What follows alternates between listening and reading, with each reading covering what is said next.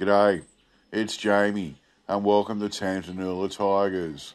Today, I'm reading an old newspaper article about a thylacine, or thylacoleo, or European wolf shooting at Willamulka, South Australia in 1919.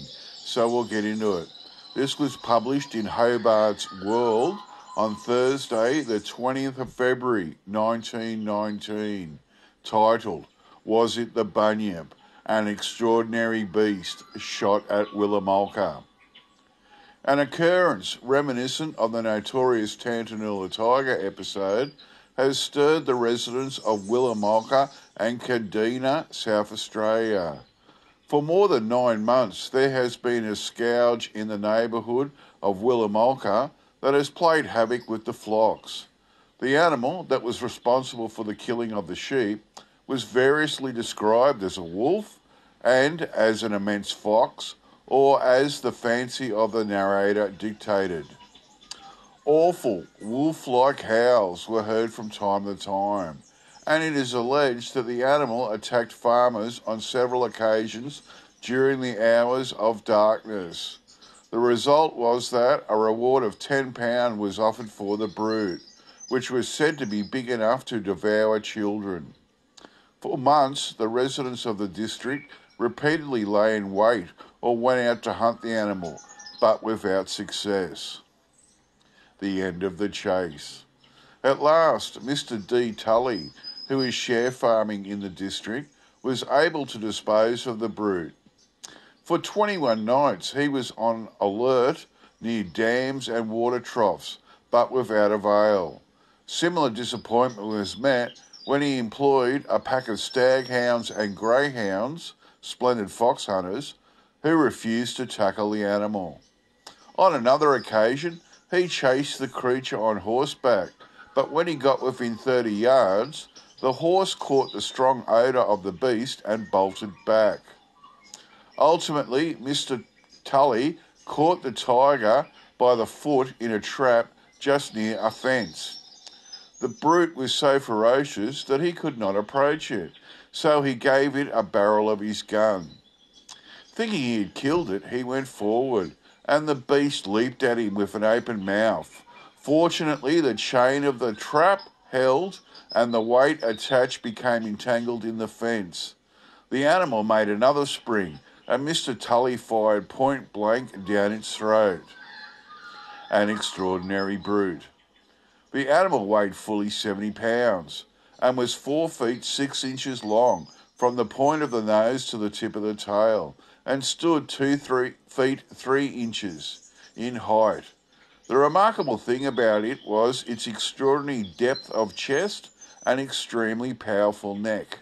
The head was rather wide and somewhat short with pricked ears. The skin was brindle, the hair coarse and medium length, and lines of wavy black and tan alternated on the rump and the forelegs.